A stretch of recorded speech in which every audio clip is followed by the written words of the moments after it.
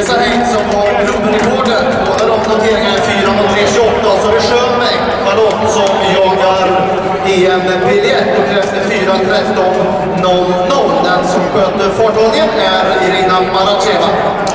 Ja, det här är alltså en av eh, kvällens eh, höjdare. Vi har det samtidigt. Återigen Örebroaren på Allsallsbanan.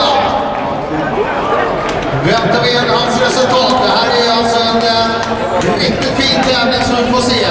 Och just eh, Kalkidan Gezain, hon satte ju redan rekord här eh, på 4.03.28. Och det är också det som Arigawi har som eh, årsbästa i år, som hon ju är världsetta på.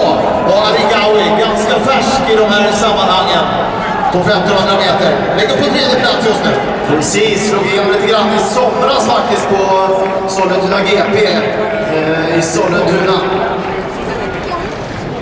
Är eh, Maracheva som lite grann ensam där framme nu skjuter farthållen. Sen eh, är det Arigani och Gesarein som följer som två och trea.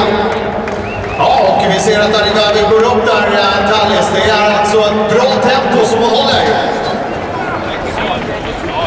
Maracheva, Ryssland. Hon håller uppsatt tempo så får de bara de andra tjejerna med sig så kommer det bli riktigt vassa tider och då har vi ju Arigami uppe i rygg. Vi kan väl berätta att eh, äh, Återlind hoppade på 7.87.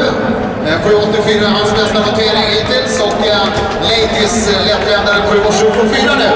Och vi ser vad lätt hon följer med. Abeba Arigawi. Och eh, ligger väl runt tionde plats. Sist i den där klungan som eh, någorlunda samlad i alla fall. Han har två stycken och sen eh, Tegenfeldt eh, längst tillbaka.